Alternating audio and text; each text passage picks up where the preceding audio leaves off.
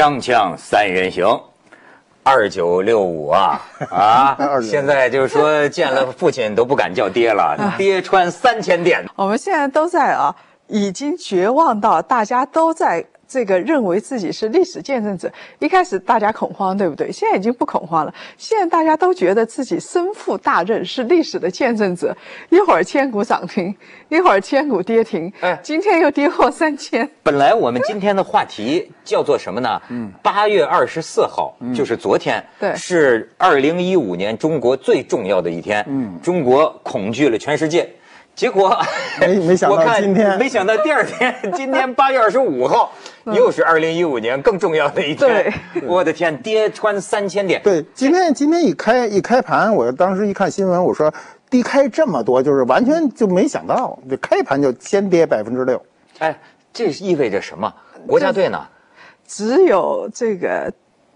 只有更重要，没有最重要啊！我们一定要有这样的乐观性。嗯，就是以后的市场，我们我们以前说是国家队就是，那你现在看到了，其实二十五号国家队其实拉了一下金融啊这些板块，拉不上去，大家全都就地躺倒。我们以前我以前以为只有散户会躺倒，现在发现国家队也会躺倒。现在我们真的是跟国家同呼吸共命运了。对，散户队和国家队一块被套牢啊。对。哎，这是不是也不用担心呢？呃，其实这个事儿蛮大的，说实在的，对对，就是不准幸灾乐祸啊。没有没有，其实这事儿蛮大的。不是叶檀老师，我跟你汇报一下，我在股票方面的知识，我是到现在我不知道什么叫蓝筹股，不知道什么叫红筹股，不知道什么叫一级市场、二级市场。我本来根本没有买股票，这昨天我看到跌成这样，我想哎。趁低吸纳的好时候到了，所以我愤然入市买了一只股票，目前被套牢，这就是我的情况。哎，我不，我不是就自以为学了点吧，就说哎，大跌的时候反而咱们要进嘛。对，是的，但架不住这大跌是连续大跌。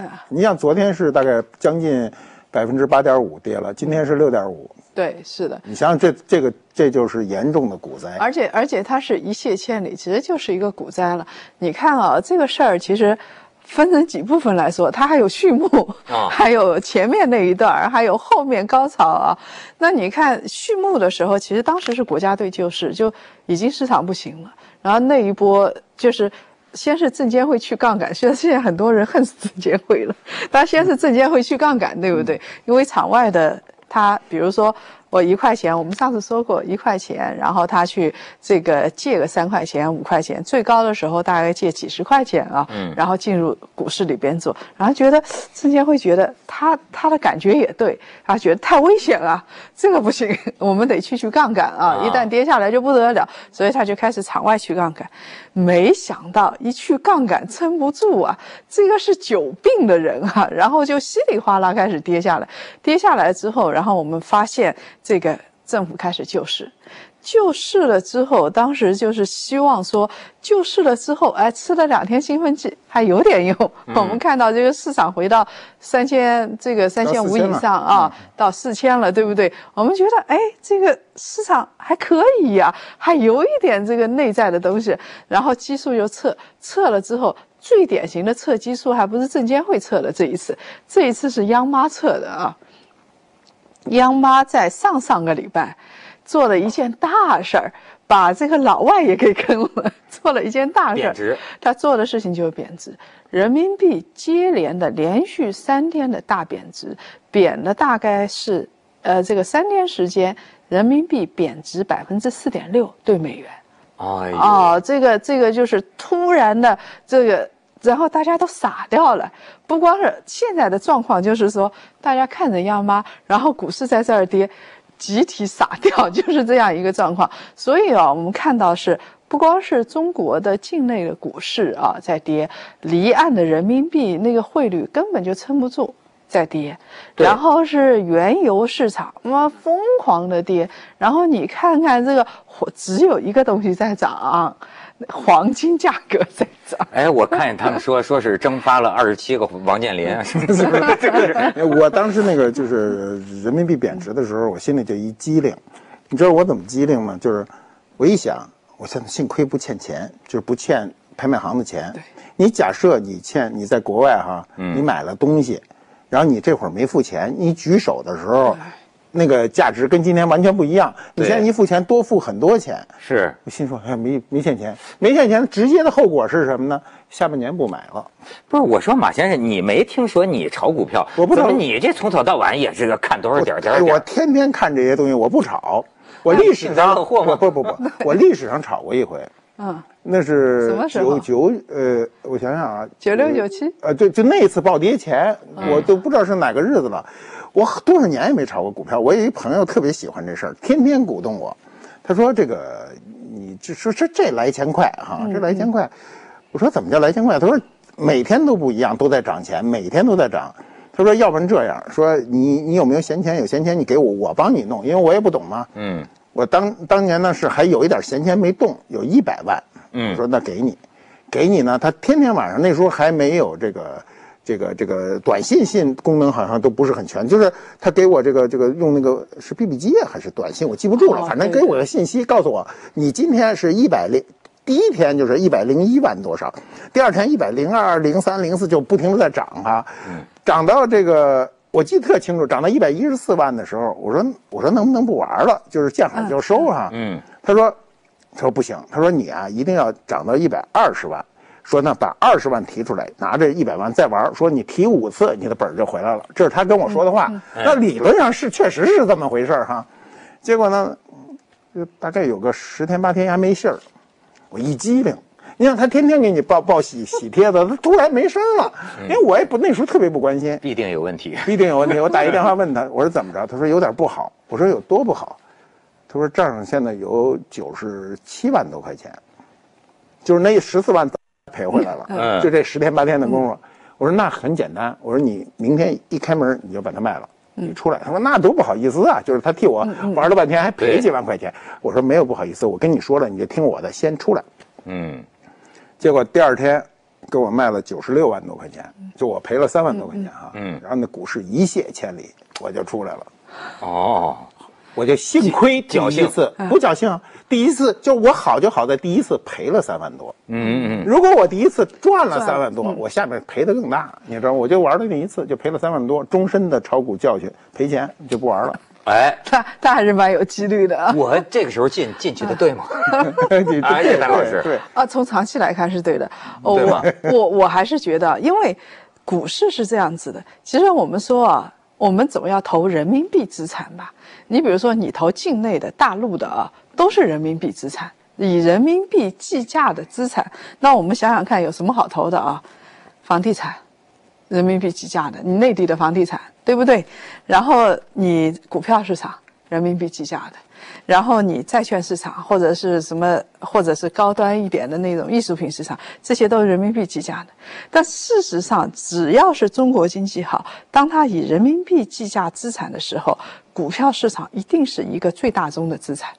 如果说你股票市场不投了啊，那么也就意味着说，我们比如说投一个，我就这么说吧，我们投中国经济，中国经济跟什么最密切呢？比如说这个沪深三百指数，也就是说上海和深圳最最重要的市值最大的那三百家公司，你想想看，如果这三百家公司全玩完，嗯，股票是股票全不值钱了，而且都在那个亏损，那么中国的人民币资产的东西，你看也不要看。股票不值钱，其他东西也不值钱。你我们现在投了房地产，你现在看着好，迟早有一天，如果这样子的话，迟早也有一天也得回来。所以这个时候的话，你如果从这个资产配置的角度来理解，你觉得你如果有人民币，对你你做一个长期配置，就跟黄金一样。所以他们这几天这个这个。微信朋友圈里说什么，可都是调侃嘛，说大阅兵什么股民的队伍来了，这是 哎，你看，就是说有的人就说关于 A 股的神评论叫什么？一直以为外资在做空中国，原来是中国在做空全世界。事实证明我们格局太小了。然后还有人说什么？说股市又暴跌，有人终于倒下了。躺在病床上问护士说：“我现在爱情没有了，亲情没有了，友情没有了，钱也没有了，是否我真的一无所有了？”护士饱含爱心地说：“看你说的，怎么对自己这么没信心呢？你不是还有病吗？” 锵锵三人行，广告之后见。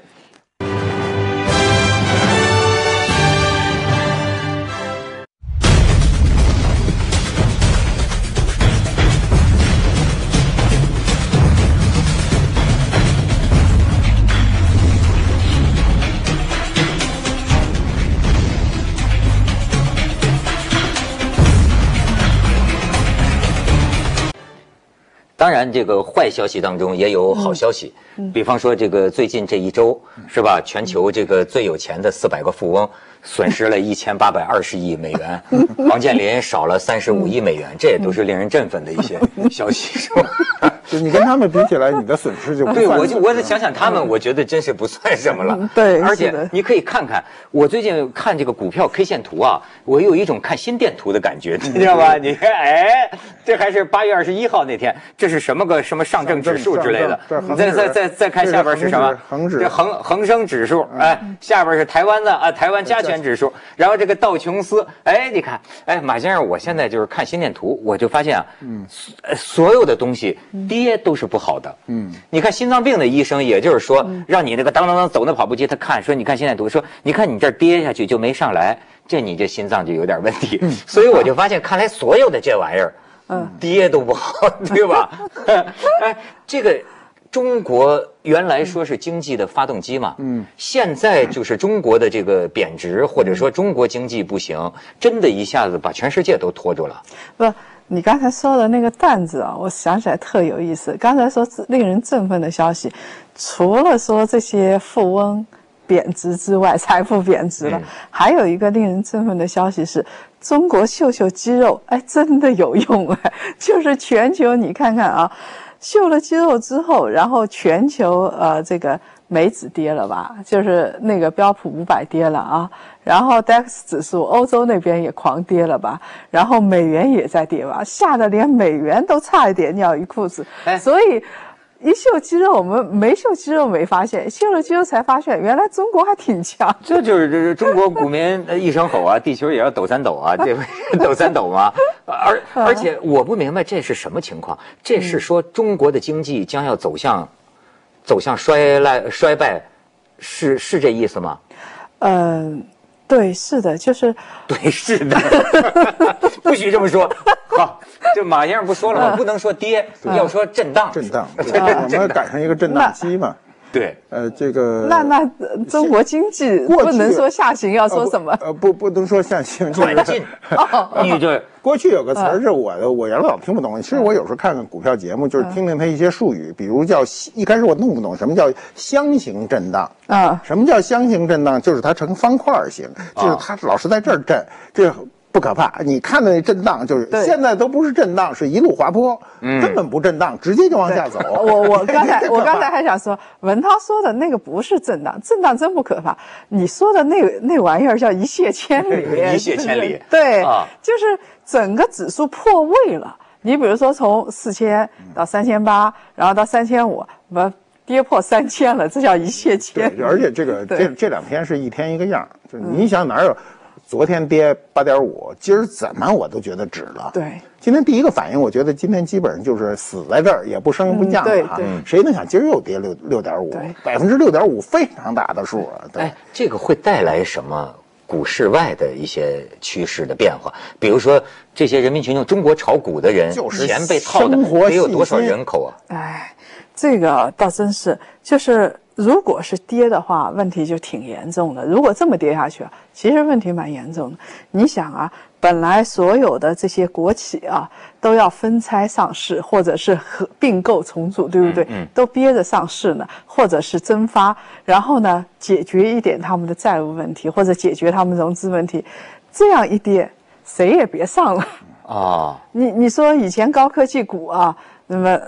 咱们弄一个，比如说咱们三人弄一高科技互联网加公司，对不对？嗯嗯。憋着要上市呢，现在别上了，上也上不去了，估值也很低啊。嗯。那么像这些从年轻人到这些这个呃到年纪大的那些国企，现在这个都从市场上融不到资了，这是一块，这还是其次的，融不到资，我只要不崩溃也行。但关键问题是，现在很多的公司扛不住，绝大部分公司是扛不住的。他为什么呢？他是把他的股权质押，然后向银行去融资的。所以呢，当时的股权质押比呢，就是是按照当时的价格来，是按照牛市的价格来。哦。所以我从你这儿打个七折出来的话，我比如说这个一亿，我借个七千万出来，对不对？那。看着大家都挺保险的嘛，你银行也赚钱了，然后银行也保险，都打折了，对不对？打那么多折，那么对于我的这个公司来说，我也拿到钱。但是谁能想到现在跌到五千万了呢？而且还没止住，这财富缩水了，就整个都缩水了。关键问题是要结算的。如果说银行就这样子的话，万一到一个结算周期，银行的资本金不够，银行盯不住了怎么办？啊，这个是大事。如我们这个股票下跌还是小事情，银行如果有一天盯不住了，那个是真是大事情。哎，马先生，这对你这行业，对博物馆有影响吗？对博物馆的那个影响就是，你比如说，过去客人来人均消费，它会下降。买东西的，对，现在很多就是很多餐饮为什么突然不成了？人说我这餐馆跟过去没啥区别，就是吃饭的人不够，吃饭的人不够的时候，对他特可怕的是什么？他支出是一样的，嗯，那么呃，他可能要保成百分之八十的客人他就盈利，对吧？他来百分之七十，他特别难过，他天天往里搭钱。我就发现，我认识一个拍卖公司的，这拍卖公司真是怎么说怎么有。比如说，我说这次拍卖这个，今年好多拍卖公司挺对。我说这次拍卖，好多。比如说前一阵我问他，我说这次拍卖怎么样？他说这次那个不太好。我说不都赚钱了吗？他说是啊，越赚钱，这帮人的钱都拿去放股票上了。好，到前一阵跌的时候，我说好不好？他说又不好。我说那为什么不好？那钱都在里头呢，那怎么都在股票里头？反正好坏都在股票里头。你。对对，所以这个就是这个中国股票的问题，现在最大的问题是所有人的生活信心都被这打乱了。很多人，你比如像我们哈，本身跟股票无关，我你看我关心是一个瞎关心，就是看热闹的心态，我又不买啊。但是对我是有很多很多影响的，所以我为什么要关心它？就是我要知道整个的这个社会的一个感受。你你比如刚才我接着那个叶叶檀的那个话讲哈，就是。他很多公司，中国这个很多上市公司的后面是前台看不见的。他很多上市公司，他是扛到了最后一刻突然上市释放，对，对吧？对。他如果扛不到，他就是死，这公司就彻底死掉。一上市来了好多钱，过去打仗也是两军干仗啊，干到最后那一瞬间，其实就赢那一点儿，他赢了。上市就叫赢了，不上市就死了，对吧？但问题是。你这一次掷出去，就是现在是上市给停了，那这一停就死多少即将上市的公司，咱都不知道，这些公司就死了。这些公司一死，那所有连带的员工啊，各种问题、债务什么就全出来了。哎，这个说的一点也没错，就很奇怪。我们那时候看啊，有的上市，它。快要上市没上市，然后说转眼的就倒闭了，倒闭了，对，这个很奇怪。你不是按理来说它要上市应该是个好公司啊，对不对？你都要快上市了，结果突然没上市啊，几个月没上市，倒闭了，这就说明他已经撑到最后一刻了，撑不到就完。很多公司都这样。我现在慢慢接触一些我那个有的哥们儿去创业的，我现在发现中国现在搞的这个都是就是什么。它也就是叫 IP，你知道什么叫 IP 吗？我就学会新词儿，什么叫 IP？就是我以为是地址嘛，其实不是，说的是跟知识产权有关的这个东西。它呀，就是说，哎，马马先生，我拉你过来，对吧？你你是我的啊。然后叶檀，你也是我的啊。然后呢，就拿这个去找基金，说你看，我又有马未都的这个节目，我又有叶檀的这个节目，都都在我这儿，你给我钱吧。哎，如果他那么骗，也不叫骗吧，他忽悠到钱了，忽悠到他也确实给咱们就分了，分对吧？他又忽悠不到呢，不是继续分，分到一定个大的时候，他不吃亏，他就把这扔给市场了。对，市场一大堆人来买，你就活了。对，但是问题是我们并不是非常良性的。对，就我觉得中国非常良性的公司是不多的。我知道很多公司就是后面很难看的，但是他突破那个关，他就赢了。这呃，我我就搞不懂，就像我们刚才说的公司啊，他几个人，如果有一个人出来了，或者有一个人突然生病了，那那家公司就玩不下去了，对不对？嗯，这样公司不就完蛋了吗？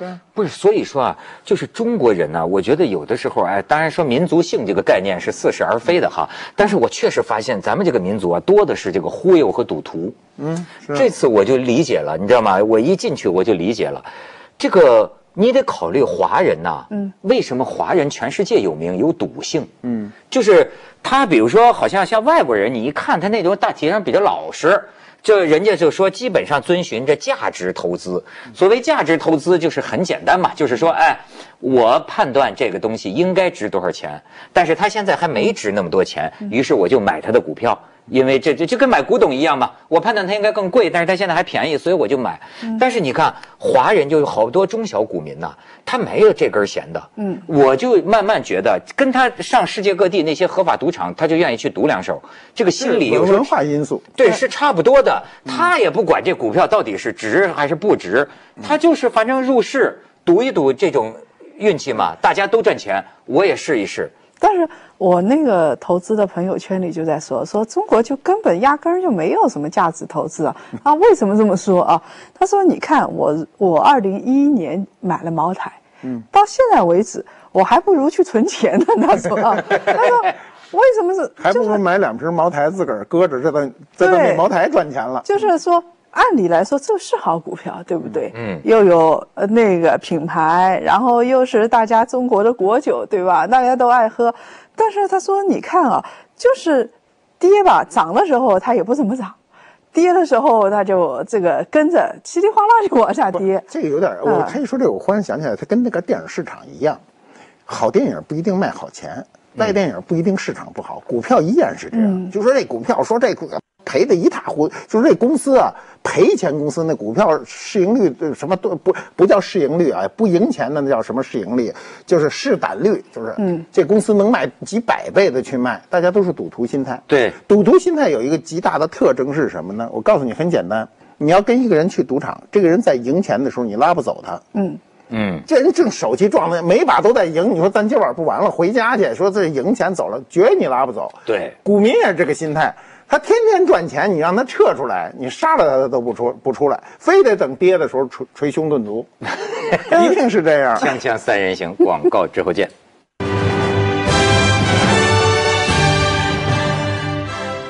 是又闹全球金融危机了吗？这算是？哎呀，没有了。我我我刚才还在打电话，就是美国那边啊，就美国，你看啊，《华尔街日报》。啊，道琼斯啊，不，那个布隆伯格，你看所有的财经头条都是中国股市，或者都是全球股市，对呀，头条都是。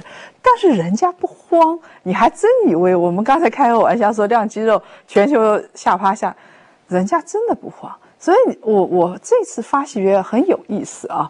二零零八年美国次贷危机的时候。